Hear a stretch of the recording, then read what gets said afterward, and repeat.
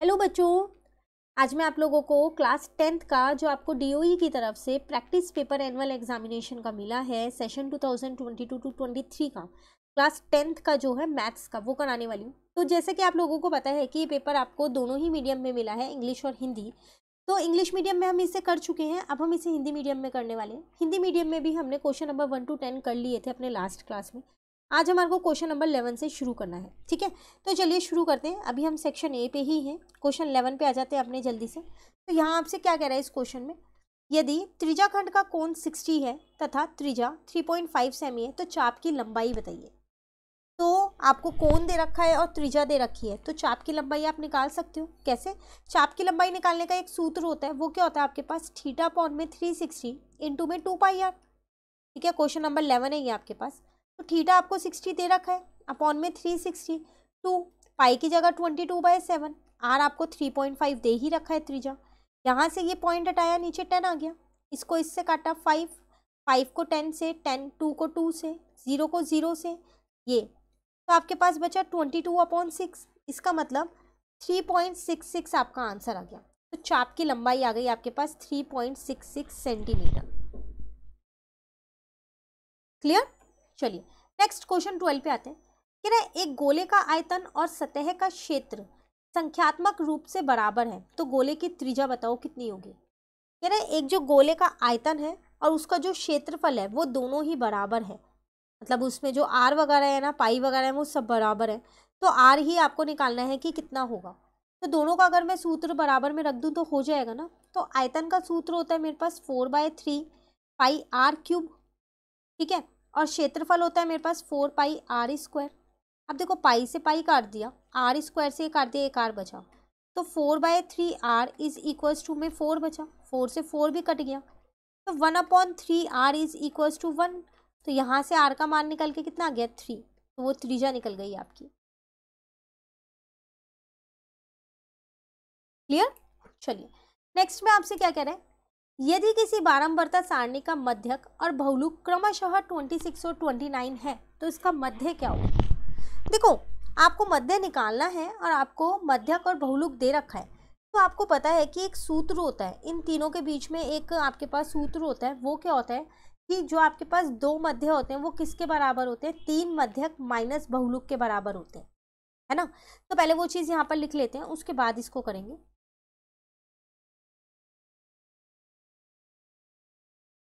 तो यहाँ पर जो है आपके पास जो सूत्र है वो मैं पहले यहाँ पर लिख रही हूँ।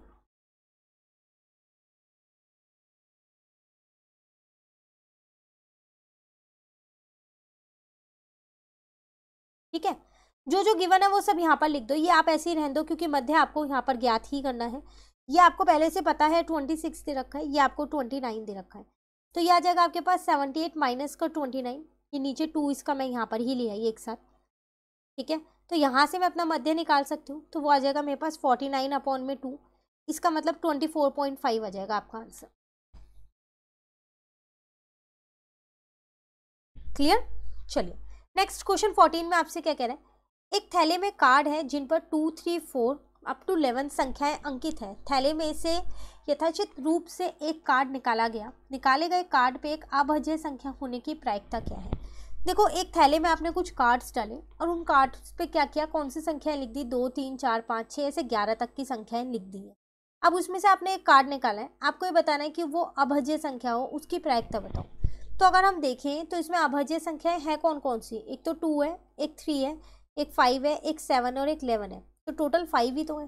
तो अनुकूल परिणाम पाँच है और कुल परिणाम दस है, क्योंकि दो से ग्यारह तक के नंबर आप जब गिनोगे तो दस ही आएँगे। तो आपकी प्रायिकता कितनी आ जाएगी? एक बटे दो।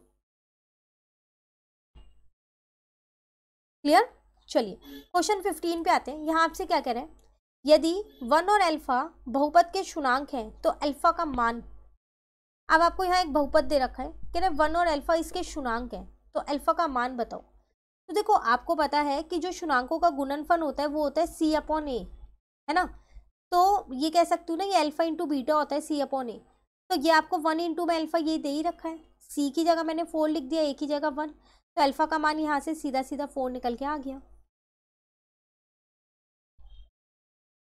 क्लियर है क्वेश्चन फिफ्टीन चलिए, आते हैं क्वेश्चन नंबर सिक्सटीन पे। यहाँ आपसे क्या कह रहे हैं?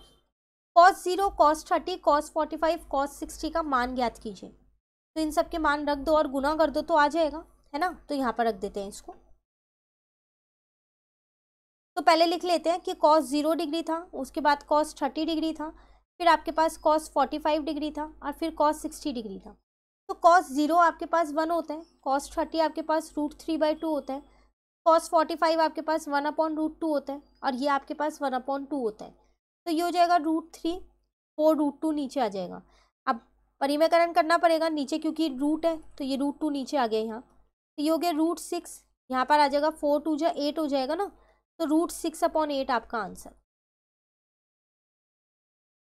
clear question number sixteen चलिए क्वेश्चन नंबर सेवनटीन पे आते हैं. कह रहे गोलाकार गुब्बारे की त्रिज्या आठ सेमी से बढ़कर बारह सेमी हो जाती है। दोनों स्थितियों में गुब्बारे के पृष्ठीय क्षेत्रफल का अनुपात क्या है? देखो, एक गुब्बारा है आपके पास, उसकी त्रिज्या जो है आठ से बारह हो गई तो दोनों का क्षेत्रफल अलग अलग होगा। आठ से अलग निकलेगा, बारह से अलग निकलेगा। है ना? फिर उन दोनों का अनुपात आपको निकालना है। तो कैसे निकालेंगे यहाँ पर? पहले मैंने क्या किया, जो मेरी त्रिज्या है, वो मैंने आठ सेंटीमीटर ही ले ली। ठीक है ना? तो अगर मैं अपने क्षेत्रफल की बात करूँ यहाँ पर तो उसका जो सूत्र होता है मेरे पास, वो क्या होता है यहाँ पर? वो होता है मेरे पास फोर पाई आर स्क्वायर। तो वो हो जाएगा फोर पाई की जगह पाई, आर स्क्वायर की जगह एट का स्क्वायर। अब मैंने अपनी त्रिज्या क्या की? बारह सेंटीमीटर ले ली। तो अब नया क्षेत्रफल निकल के आएगा। अब ये वाली त्रिज्या रखनी पड़ेगी। तो अब मेरा क्षेत्रफल हो जाएगा यहाँ पर, अगर सूत्र यही लगाऊँगी तो वो हो जाएगा फोर पाई और यहाँ आ जाएगा ट्वेल्व का स्क्वायर। ठीक है? अब मुझे इन दोनों का ही तो अनुपात निकालना है तो बस अनुपात निकाल दो यहाँ पर। तो वो हो जाएगा फोर पाई और यहाँ आ जाएगा एट का स्क्वायर, और ये हो जाएगा आपके पास फोर पाई, यहाँ आ जाएगा ट्वेल्व का स्क्वायर। ये तो कट गया। यहाँ आ गया एट इंटू एट और नीचे आपके पास आ गया ट्वेल्व इंटू ट्वेल्व। इसको इससे काटा टू और थ्री, फोर की टेबल से। इसको भी तो फोर अपॉन नाइन तो चार अनुपात नौ आपका यहाँ आंसर आ जाए क्लियर क्वेश्चन नंबर सेवनटीन चलिए क्वेश्चन एटीन में आपसे क्या कह रहे हैं? एक फ़िश टैंक में पाँच नर मछली और आठ मादा मछली है। निकाली गई मछली के नर मछली होने की प्रायिकता बताओ। कह रहे एक फ़िश टैंक है, उसमें पाँच जो है वो मेल फ़िश है और आठ जो है वो फीमेल वाली है। ठीक है तो बताओ जो आपने मेल फ़िश निकाली है उसकी क्या प्रायिकता होगी? तो मेल फ़िश है कितनी? पाँच ही तो है। पाँच है ना? तो ऊपर तो पाँच आ जाएगा। अगर टोटल देखें, कितनी मछली है उस टैंक के अंदर? तेरह। आठ और पाँच तेरह। तो पाँच अपॉन तेरह आपका यहाँ आंसर क्लियर चलिए, अब आते हैं क्वेश्चन नाइनटीन एंड ट्वेंटी पे। तो आपको पता है ना कि दो क्वेश्चन आपके पास अभिकथन और कारण के आएँगे। तो इसी सेक्शन में वो दोनों क्वेश्चन नाइनटीन और ट्वेंटी अभिकथन और कारण वाले। ठीक है? तो देखते हैं, चलो यहाँ पर पहले अभिकथन पढ़ते हैं। कह रहे किसी किताब का अंकित मूल्य दस रुपये बढ़ने पर कोई व्यक्ति बारह सौ में दस किताब कम खरीद सकता है। बिल्कुल सही बात है। अगर किसी किताब का मूल्य बढ़ जाता है, ठीक है तो वो व्यक्ति क्या करेगा? अगर उस पर बारह सौ ही रुपये तो पहले वो जितनी बुक खरीद पा रहा था, वो उससे कम खरीद पाएगा। तो इसमें लिखा है वो दस किताबें कम खरीद पा रहा है। ठीक है ना? खरीद पा रहा होगा। बिल्कुल सही है, ये तो ट्रू दे रखा है आपको। आप कथन और देख लेते हैं। तो कथन में आपसे क्या कह रहे हैं यहाँ पर? क्रय मूल्य बढ़ने पर एक निश्चित राशि से अधिक किताबें खरीदी जा सकती है। ये तो बिल्कुल गलत है। जब आपका यहाँ पर क्रय मूल्य बढ़ गया है तो आप उसमें अधिक किताबें कैसे खरीदोगे? आप तो उसमें कम किताब खरीद पाओगे ना जब आपका मूल्य बढ़ गया तो। तो ये गलत दे रखा है। इसका मतलब इसमें अभिकथन तो सही दे रखा है, लेकिन कारण आपको गलत दे रखा है। तो यहाँ पर आपके पास क्या आ जाएगा? कारण आ सकते हैं ना तो इसका आंसर आ जाएगा सी। अभिकथन तो सत्य है, पर कारण आ सकते हैं।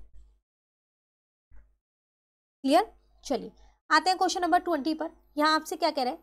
यदि त्रिभुज एबीसी और त्रिभुज पी क्यू आर सर्वांगसम है तो वो स्वरूप समरूप त्रिभुज है। बिल्कुल।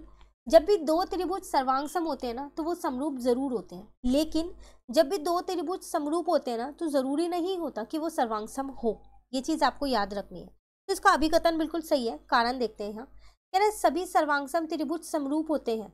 हाँ जैसा भी मैंने आपको बोला, बिल्कुल होते हैं। लेकिन समरूप त्रिभुजों का सर्वांगसम होना आवश्यक नहीं है। हाँ बिल्कुल सही है, यही चीज़ तो अभी मैंने आपको बोली, सर्वांगसम त्रिभुज समरूप हो सकते हैं। लेकिन समरूप त्रिभुज ज़रूरी नहीं है कि सर्वांगसम हो। तो ये दोनों ही चीज़ आपको सही दे रखी है और यही इसकी एक्सप्लेनेशन भी दे रहा है। तो इसका आंसर आ जाएगा ए अभिकथन और कारण दोनों ही सत्य हैं। क्लियर तो आज हमने क्वेश्चन नंबर इलेवन से ट्वेंटी अपने कंप्लीट कर लिए, ये सेक्शन हमारा कंप्लीट हो गया। अब नेक्स्ट क्लास में मैं आपको इसका नेक्स्ट सेक्शन कराने वाली हूँ। पूरा पेपर बहुत इंपॉर्टेंट है, बिल्कुल अच्छे से कीजिएगा।